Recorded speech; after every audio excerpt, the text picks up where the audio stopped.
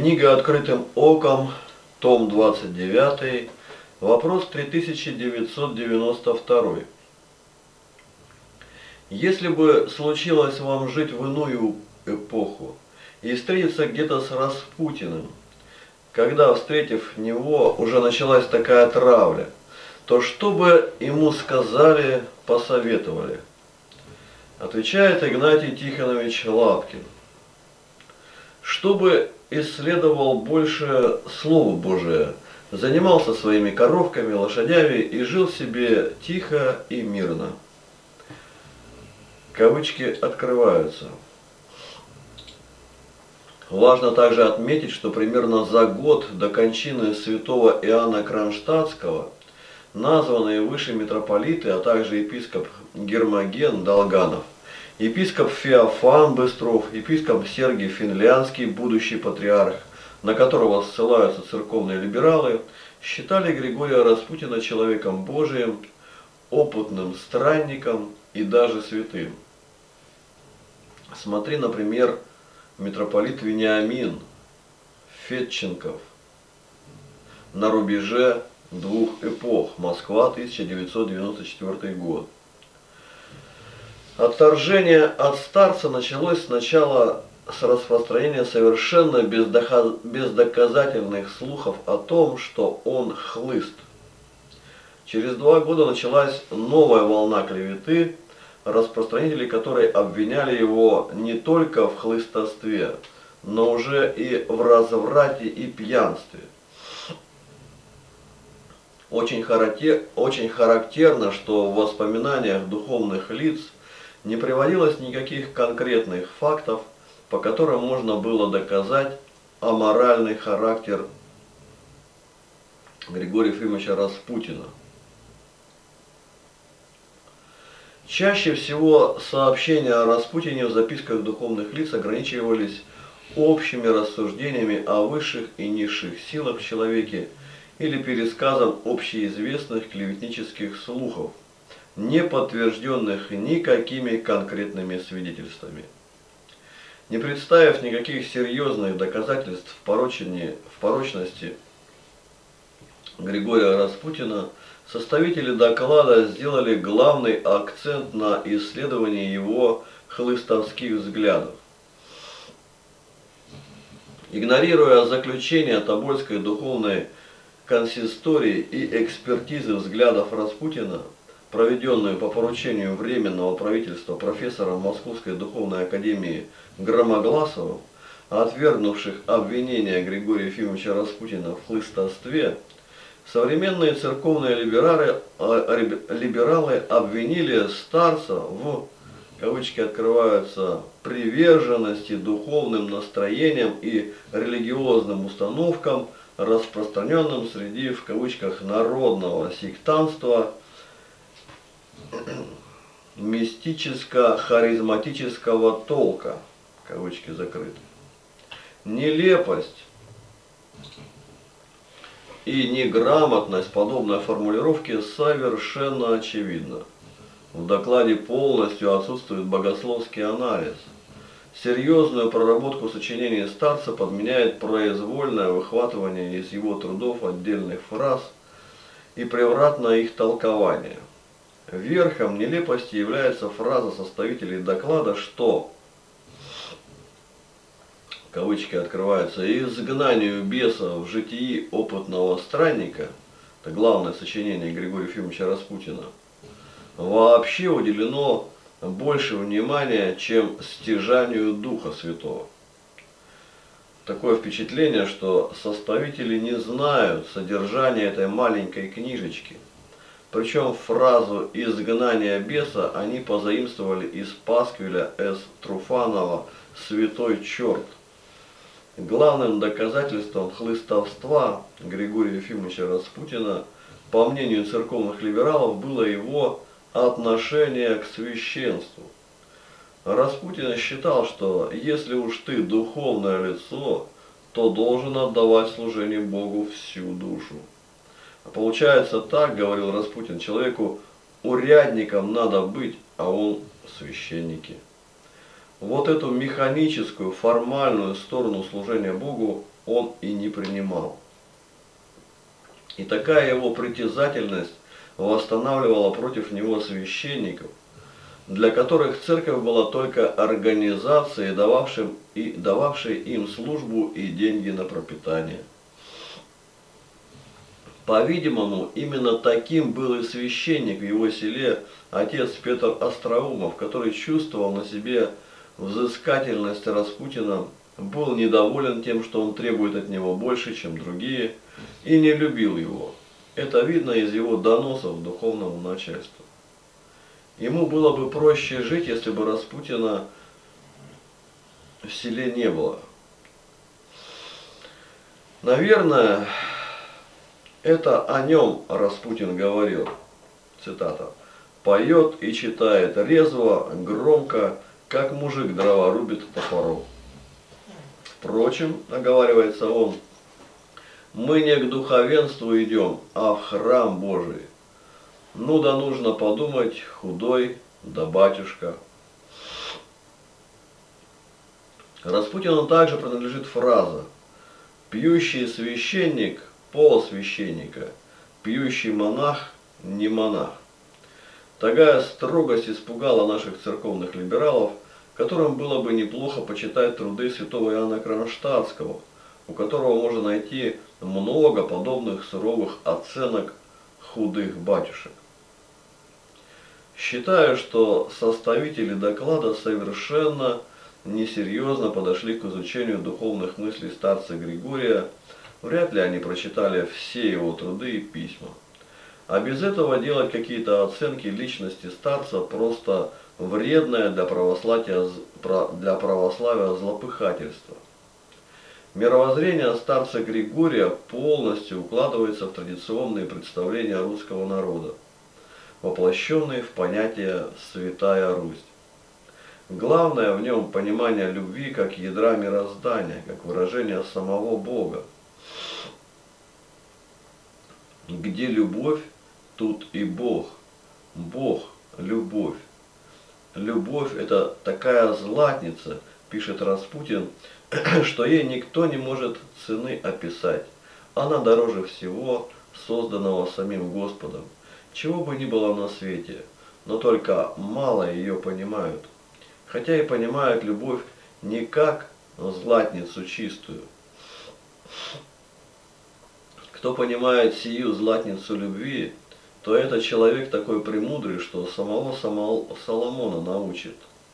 Многие, мы все беседуем о любви.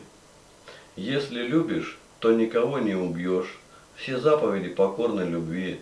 В ней великая премудрость больше, чем в Соломоне. Любовь – величайшая ценность, но дается она только опытным людям через страдания и испытания.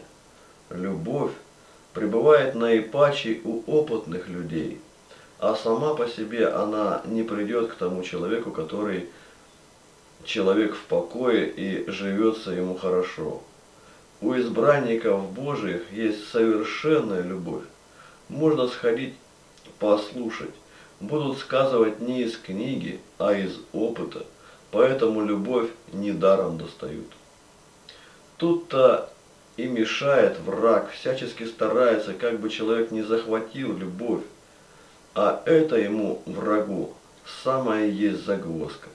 Ведь любовь – это своего рода миллионщик духовной жизни. Даже сметы нет. Вообще любовь живет в изгнанниках, которые пережили все, всяческое. А жалость не у всех есть. О любви даже трудно беседовать. Нужно с опытным, а кто на опыте не бывал, тот перевернет ее всячески. Вообще, где есть избранные в духовных беседах, те более понимают любовь и беседуют по Новому Завету и живут единогласно, единым духом.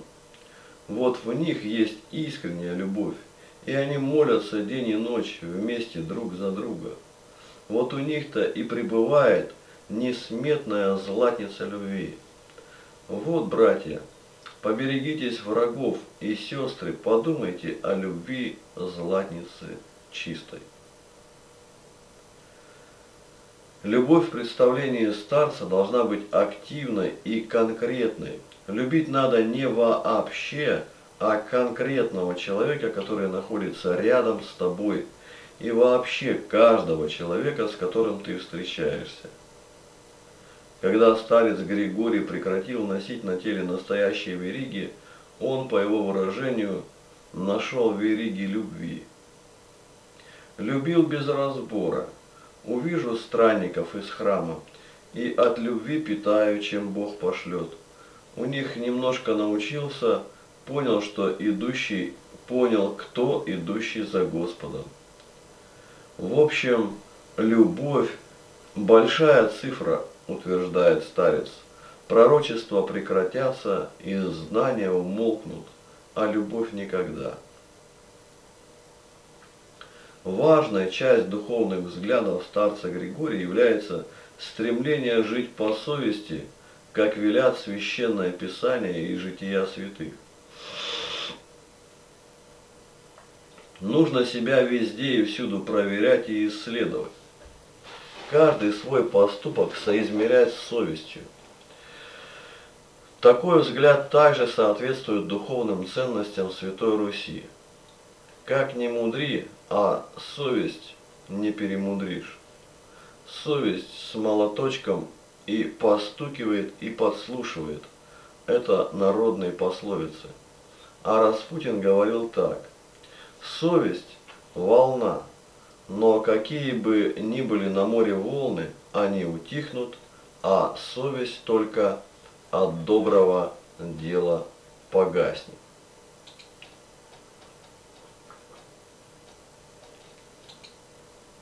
Чтобы достигнуть спасения, нужно только унижение и любовь. В том радость заключается – в душевной простоте огромное богатство и залог спасения. Всегда нужно себя в одежде унижать и считать себя низким, но не на словах, а духом действительно.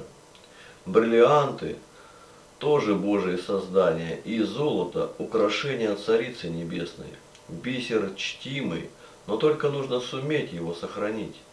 Мы одеваемся в жемчуг, делаемся выше городов – подымаем дух, и рождается порога гордости и непокорности ко всему. Не нужно добиваться почета и учения, а следить и искать Господа, и все ученые послушают глагол Твоих или изречение Твоего. Старец рассказывает, как много ему приходилось бывать у архиереев, которые его хотели испытать в вере и посрамить простого малограмотного крестьянина. Цитата.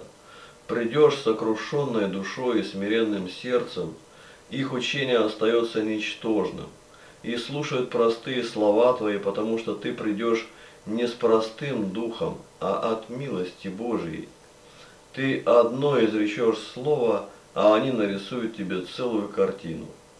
Они хотя и хотят испытать и ищут что-нибудь, но ты как не с простыми словами, то есть в страхе, вот тут-то у них замирают уста, и они противоречить не могут. Кавычки закрыты. Душевная простота должна соединяться еще с одной важнейшей духовной ценностью Святой Руси – нестяжательством, отсутствием корысти, стремления к приобретательству. Цитата. Если не будешь искать корысти нигде и стремиться как бы утешить, призовешь же Господа душевно, учит старец, то и бесы вострепещут от тебя – и больные выздоровеют.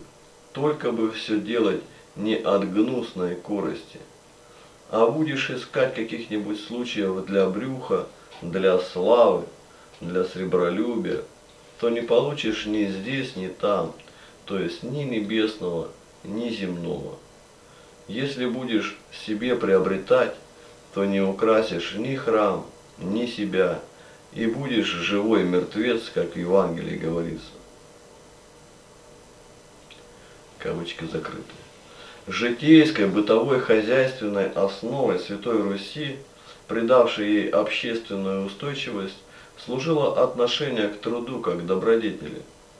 Труд для русского человека не сводился к совокупности действий или навыков, а рассматривался как проявление духовной жизни, нравственное деяние, богоугодное дело, причем трудолюбие было характерным выражением духовности. То, чему учит Григорий, полностью соответствует этим представлениям, причем особенно он возвеличивает крестьянский труд. Сам до конца своей жизни не переставал трудиться в своем хозяйстве, хотя имел все возможности этого не делать. Цитата. «Сам самодержит, царь крестьянином живет, питается от его рук трудящихся, и все птицы крестьянином пользуются, даже мышь, и та им питается. Всякое дыхание да хвалит Господа, и молитвы все за крестьянина. Велик, велик есть крестьянин перед Господом. Он никаких баллов не понимает, он в театре редко бывает, он только помнит.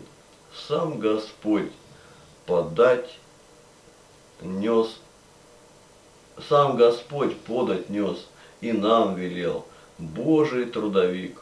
У него вместо органов коса в руках, вместо увеселений саха у сердца, вместо пышной одежды какой-нибудь твердый армячок, вместо тройки усталая лошадка.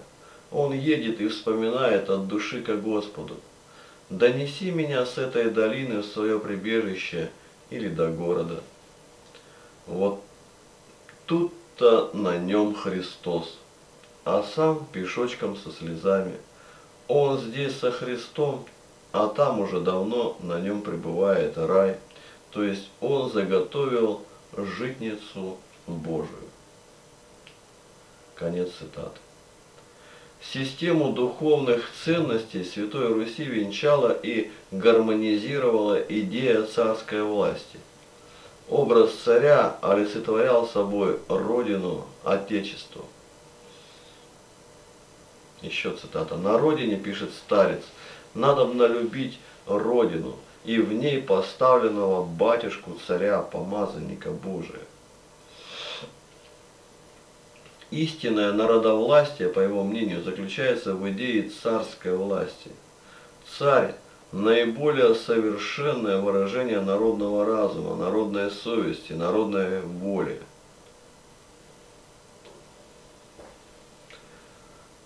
Конец цитаты, кавычки закрыты.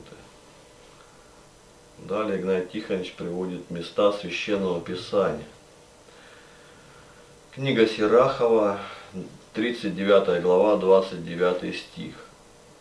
Кто может сделаться мудрым? Кто может сделаться мудрым? А, простите. Так, Сергей, ты два раза считаешь кто? Да, да, да, я увидел, я увидел, благодарю. Книга Сирахова, 39 глава, 25 стих. Как может сделаться мудрым тот, кто правит плугом и хвалится бичом? Гоняет валов и занят работами их, и которого разговор только о молодых валах. 1 Маковейская, 10 глава, 61 стих. И собрались против него мужи зловредные из среды Израиля, мужи беззаконные, чтобы оклеветать его, но царь не внял им. 2 Маковейская, 10 глава, 13 стих.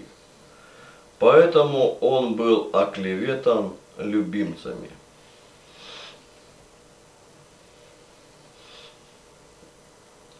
Открытия, как Эврика, внезапные. Под полог тайны заглянуть непросто, иначе эту тайну мог невежда сцапать и сыпануть открытия, как проса. За каждым, как покажется ничтожным – изобретением, наитием, новинкой стоят труды, заботы и подножки, но кто-то первый снимет пенку в кринке. Кузнец был первый наковальней, с наковальней дружен, Стрелу и нож оттачивал и плуг. Так добрались до пушек и до ружей, До атома, что страшно молвить слух. Кто первый гнул деревья в колесо, И ось додумался воткнуть как раз в середку, С довольством потное утер затем лицо И в тракт расширил пешехода тропку. Вот первый музыкальный инструмент, Звук необычный, голому в подмогу, Потом в хорах при храме им греметь, Прорыв — за полок шире год от году. Стремились мысль свою отпечатлеть на глиняных табличках и на скалах, от уязвимости кольчугу и жилет, и время книг и дисков вдруг настало. О, если бы все Богу посвятили, не забывая сути ненадежность, Тогда бы разум на высоте светильник не мыслили в угоду зла корежить. Мне стало ясно, семя – Слово Божье, и благовестники – посланцы Иисуса. В Христа уверовать, что может быть дороже? Ввести открытие в евангельское русло – я приоткрыл монашескую ширму.